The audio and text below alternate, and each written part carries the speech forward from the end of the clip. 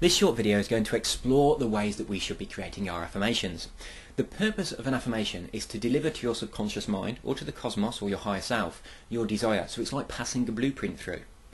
The way this happens is in pictures, it's not in words. So when you create your affirmation, you need to consider what picture it creates in your mind when you read it through.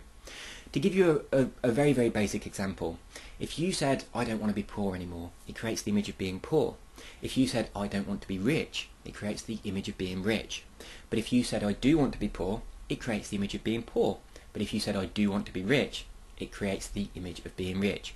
So I do or I don't doesn't mean anything at all. The words have no meaning. It's the object of the focus. You focus on poverty, doesn't matter if you say I do or I don't, the focus is on poverty. You focus on richness and wealth, even if you say I don't or if you say I do, the focus, the image you create in your mind that you pass on to your subconscious is for wealth. So it's very important that you're creating the right images.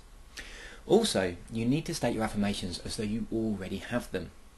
When you state an affirmation as though it's already yours, the image that you create is of you experiencing that reality. So the vibration that you send out to the cosmos is of you experiencing the reality, not looking forward to it or hoping that it will happen, or it being just around the next corner you need to focus on it actually being there now.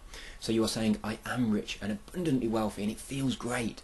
And then that image of you enjoying all of the rich splendour that's arrived in your life then becomes the blueprint of what you begin to create. And the final point on creating your affirmations, they do need to be positive and they need to be in the present tense and they need to create positive pictures. But also, and this one's really important, if you create an affirmation and you read it, it should make you smile. The emotion that goes with the affirmation should make you really feel motivated, make you should feel happy, and you should feel even excited because you know that it's going to manifest it in your life. So when you read through your goals, if you don't smile, you need to revise those goals and write them out again. And you can just do this by embellishing on your language. If you're writing, I earn £5,000 a month, that's not very stimulating. But if you're writing, I am delighted now that I earn £5,000 a month from my passive income, and it feels great and I can help so many people.